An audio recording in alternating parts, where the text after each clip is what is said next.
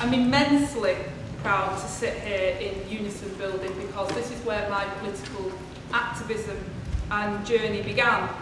I came from a council estate. I lived in a council house.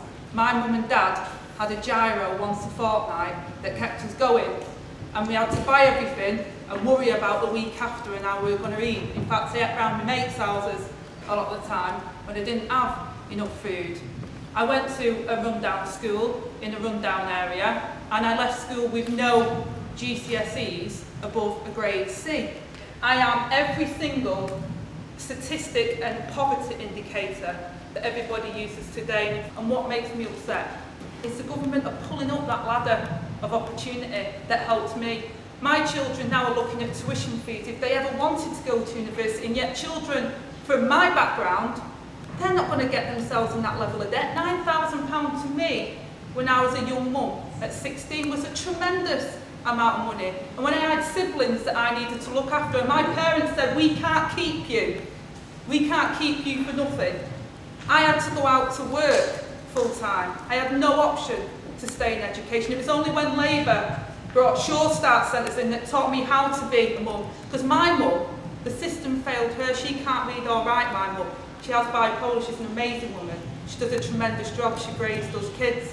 But it wasn't her fault, and it wasn't my fault that I was brought up in that family. It wasn't my fault that those opportunities were not available to me. So why should we punish the next generation of children?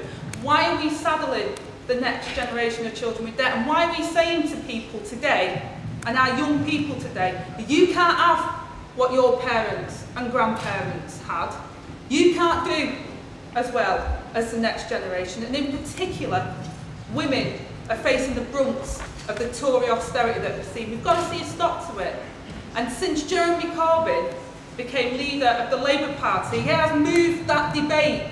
I think he can do great things as our leader. And this document gives you that blueprint on allowing and enabling young women like me, from my background, to being the best and being what they can be. We need Jeremy as Prime Minister, we need a new fresh approach for the UK and I'll be supporting Jeremy all the way.